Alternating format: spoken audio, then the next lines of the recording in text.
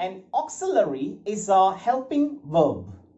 It helps the main verb to form tenses, voices, or moods by being placed before them.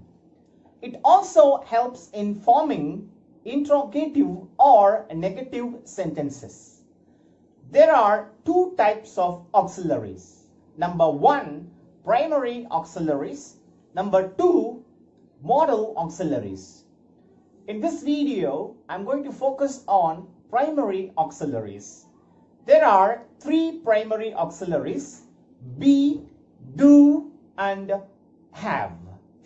All the three primary auxiliaries change their forms according to the person or a number of the subject. Have a look at this. Number one, be. There are seven forms for this primary auxiliary. Is, am, are, was, were, been, being. Number two, do. There are three forms for this primary auxiliary. Do, does, did. Number three, have. There are three forms for this primary auxiliary. Have, has, had. Primary auxiliaries, also known as primary verbs, which can function as either main verbs or helping verbs.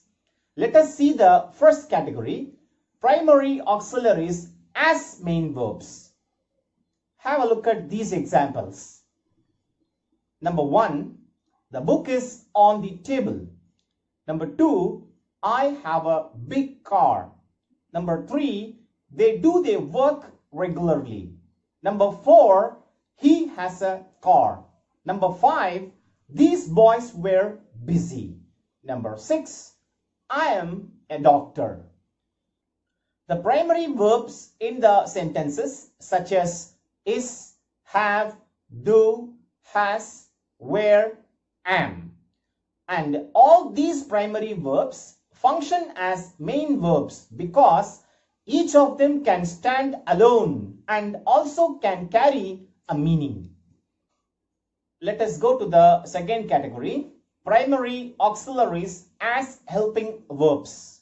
Examples, he is playing a match. I am not writing an assignment. I did not write a letter. An apple was eaten by Ram. Are the boys being punished by the teacher? Has this picture been painted by you?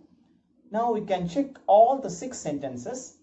The primary verbs used in the sentences are is, am, did, was, are, being, has, been. These primary verbs function as auxiliary verbs because each of them is helping a main verb. They can neither stand alone nor do they carry any lexical meaning. They carry only grammatical meaning. I hope you have understood primary auxiliaries. For more examples, you can check the description. Thank you very much for watching.